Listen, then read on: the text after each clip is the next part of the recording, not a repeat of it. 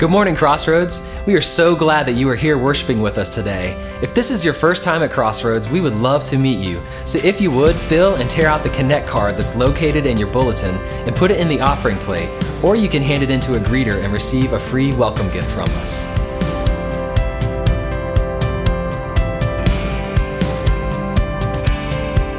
Crossroads is renting students from the Puerto Rico mission team to our congregation.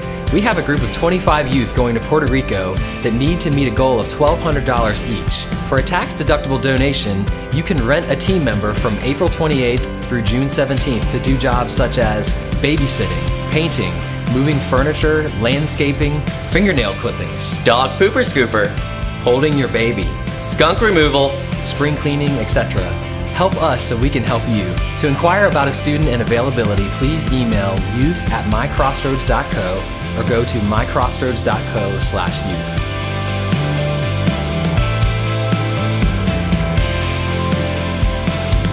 Come out to BB&T Stadium in Uptown Charlotte for a Knights baseball game on May 25th. We have 40 spots reserved in the picnic area of the stadium, offering an excellent view of the field plus the added excitement of possibly catching a home run ball. The $15 ticket includes game admittance and a buffet that will feature barbecue, hot dogs, potato salad, slaw, chips, popcorn, and soft drinks.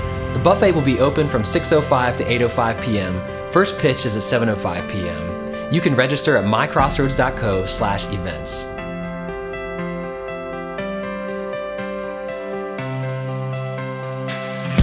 Crossroads family, you've been asking for and it's coming. On Wednesday night, May 31st at 7 p.m., we're going to have a night of worship and prayer where we'll not only seek the heart of God together through music, but we'll also experience a guided time of prayer together. We invite you to come out and join us.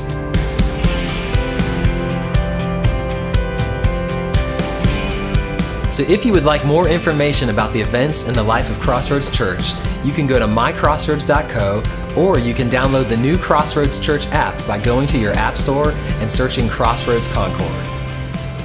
Hi, I'm Ashley. I'm one of the first grade Sunday school teachers here at Crossroads, and I've been teaching the story to all of your little first graders, and I just love teaching them because I love having discussions with them and seeing how the story has impacted them and seeing how they have gone to school and talked to their friends about the Bible stories that they've learned. And it's impacted me majorly because I was that little kid who would wake up on Sundays and pretend that I was sick so I didn't have to come to church. So it's helped me to learn the Bible stories and be able to know them better so that I can teach the kids about it.